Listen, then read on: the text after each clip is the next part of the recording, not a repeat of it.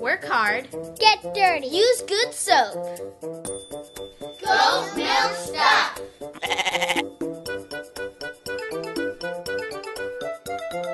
This is PJ at Goat Milk Stuff, and we are so thankful that all of you has taken the time to give us the questions that we thought we'd have a special time here where we would answer some of those questions at our weekly mailbag. This week's question comes from Wendy in Maryland, and she wants to know how many goats we milk. That's a great question. We have nine goats, and out of the nine of them, we milk seven of them.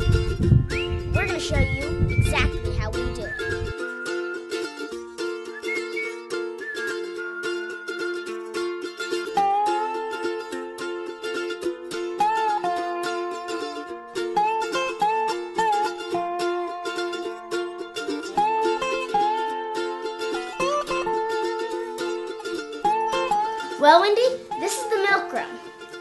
This is where we milk the goats. First, we get the goats up. Then, we take our wipes and we wipe their udders thoroughly.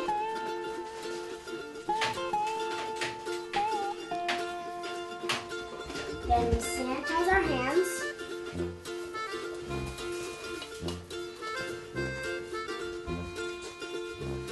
Then we'll take the milk, milk pails and we'll start milking. What we're doing is first you squeeze at the top to lock all the milk in the teats. Then you take your next fingers and next fingers and just go down the line. And you just do that over and over again. Our best milker at its peak was giving around two and a half gallons.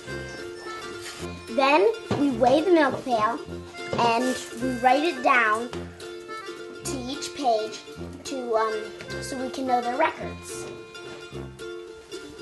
The goats need to be milked two times a day, every day. Once they're milked, then we have to dip their teats so that no germs or chemicals can get up in there. And when you're done milking, this is what you get. It's all natural goat milk with no chemicals and it's not pasteurized. It's raw, which is awesome.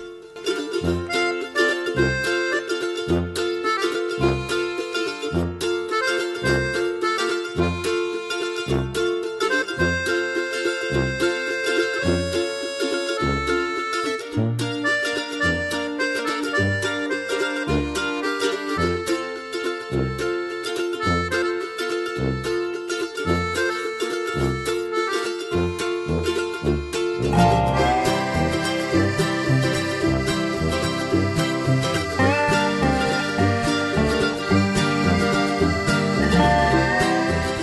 after we're done milking the goats, we bring the milk in here and put it in jars.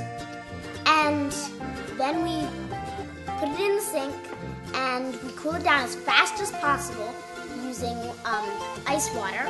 We cool it down as fast as possible so it does. Um, if we do that, it will taste better. So then we put it in the fridge and we can use it whenever we want to. And then we get to go play. Thanks for the question. If we use your question on our next mailbag video, we'll send you a free bar of soap with your next goat milk soap order. So keep the questions coming. Work hard. Get